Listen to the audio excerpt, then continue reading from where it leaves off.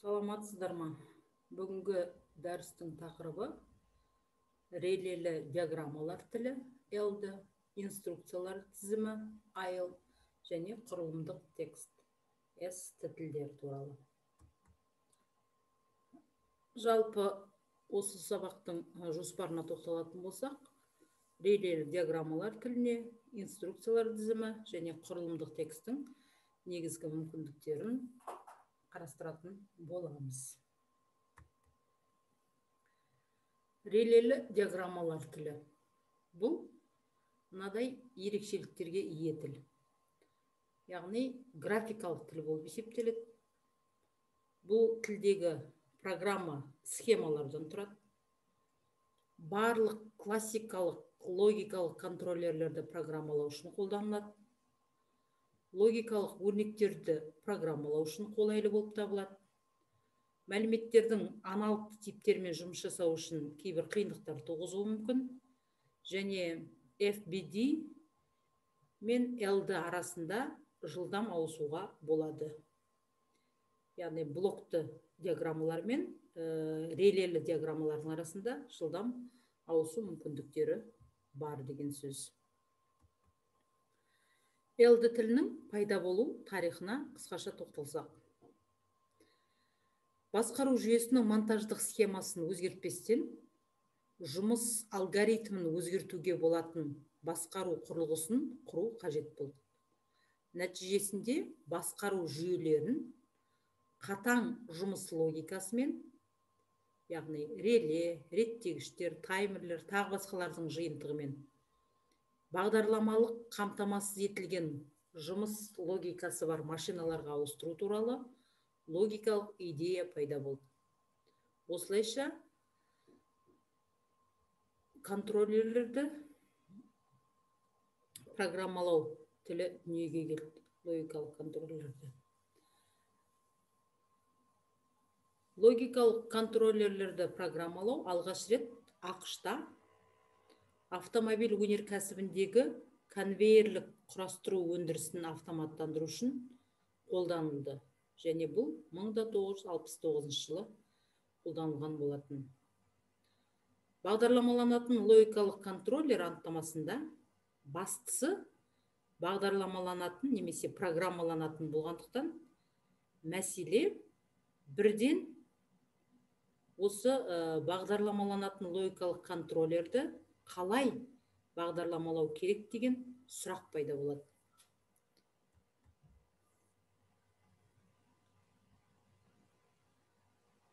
Бағдарламаланатын логикалық контроллерлер бағдарламаларына релелік машиналардың схемаларын автоматты түрде тарату өте жақсы нұсқа болуы мүмкін. Яғни бұл нұсқаны неге жоқ деп келтіретін болсақ яғни бұл жерде схемалармен жұмыс жасау. Ол ә, бағдарламаланатын логикалық контроллерде релелі контактілі схемаларының тілі пайда болуымен байланысты. Яғни мына алдарыңызда айтып отырған лд тілін кейбір ә, кітаптарда релелі контактілі схемалар тілі дейді. Кейбір ә, кітаптарда релелі диаграммалар тілі дейді. Бұл ағылшынша ә, led диаграмм немесе LD деген аудармасы LD-ның аудармасы led диаграмм деген сөзді береді. Технолог маман бағдарламаланатын логикалық контроллерді бағдарламалау станциясының дисплейіндегі басқару схемасын қайта жасай алады әрине схема графикалық түрде емес шартты белгілер арқылы бейнеленеді. Жалпы кез келген принципті схемадан лд схемасына ауысу мысалын қарастырайық алдарыңызда бірінші ә, суретте принципті схеманың фрагменті келтірілген. Яғни ә, тоқтың бар болуы жоқ болуы мына жерде өткізгіштер бұл физикадан сіздерге бұл схема таныс. Енді осы ә, схеманы лд тіліне ауыстыратын болсақ лд схемасына да ауыстыратын болсақ ол мынадай түрде болады екен. Яғни контакты контактының бар болуы контактының жоқ болуы және ә, коннектормен аяқталады. Біздің енді мақсатымыз осы лд схеманың қалай жасалатындығы және ә, қалай қолданылатындығын қарастыратын боламыз. Бұл лд тілінде бинарлық логика амалдары қолданылады. Тізбекті және параллельді схемалар. Лд тілінде бинарлы сигнал күйлері яғни байланыс жоспарлары тізбекті оны сериялар деп атайды және параллель байланыс қосылыстар арқылы топтастырылған. Тізбекті қосылыс and. Орысшасы и қазақшасы және функциясына сәйкес келеді. Бұл логикалық функцияны бәріміз де білеміз. And функциясы. Яғни екі ә,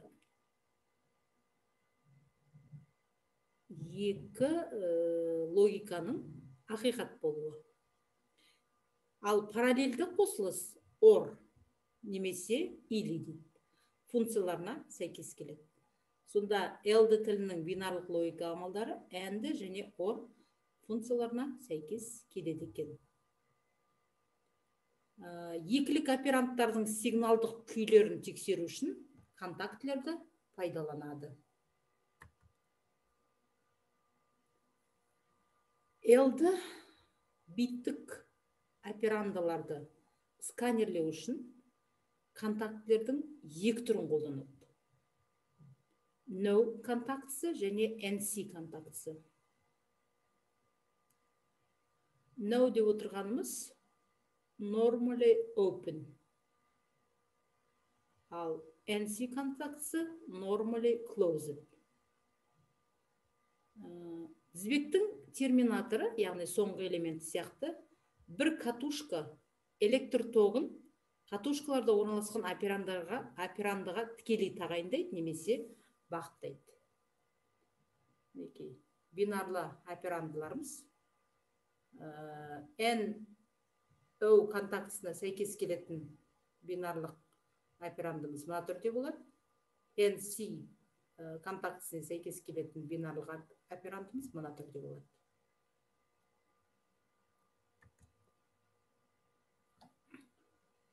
No контактісінің жұмысын қарастырайық.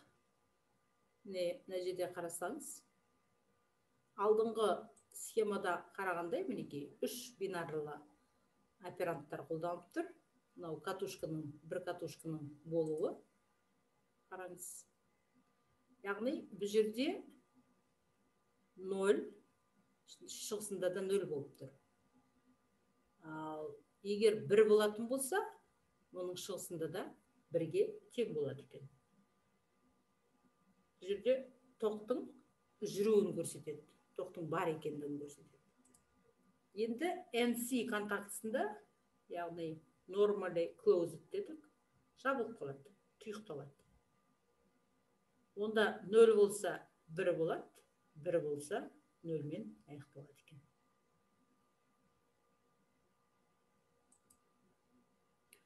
тізбекті схемалар.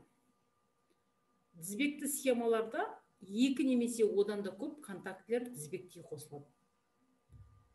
Барлық контактілер жабылған кезде тізбектегі схемада тоқ жүреді.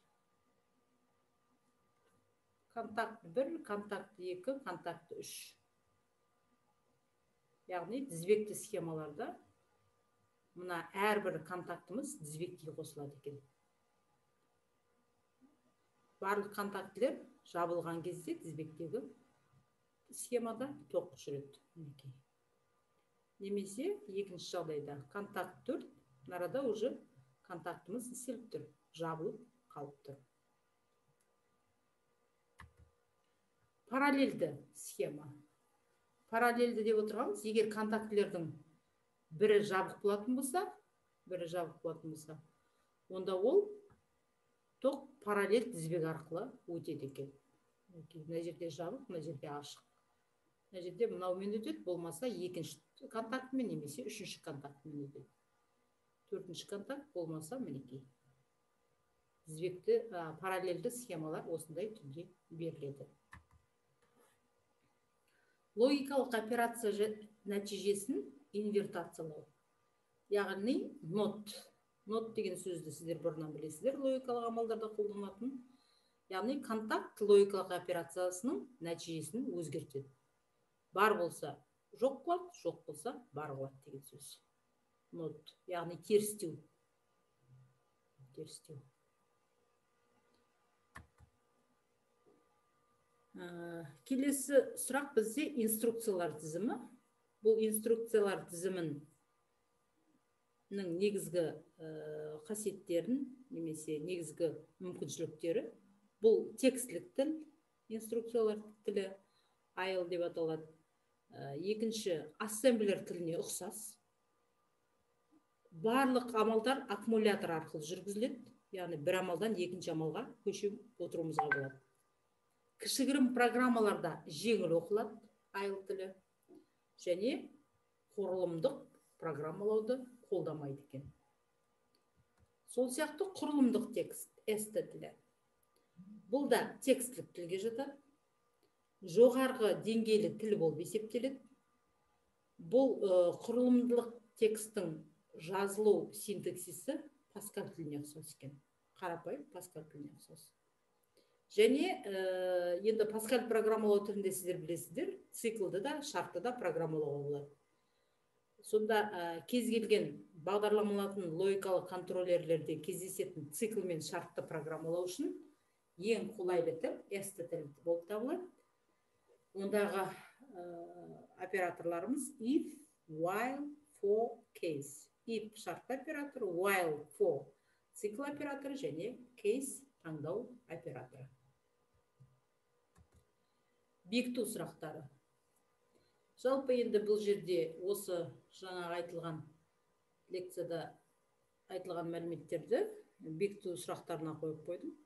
Релелік диаграммалар тілі дегеніміз не? Лд тілінің пайда болу тарихы бинарлық логика операциялары лд коннекторлар дегеніміз не? Инструкциялар тізімі құрылымдық текстің ә, ерекшеліктерін айтуларыңыз қажет. Енді осы тілдердің қолданылуын практикада және лабораториялық сабақта қарастыратын боламыз. Назарларыңызға рахмет.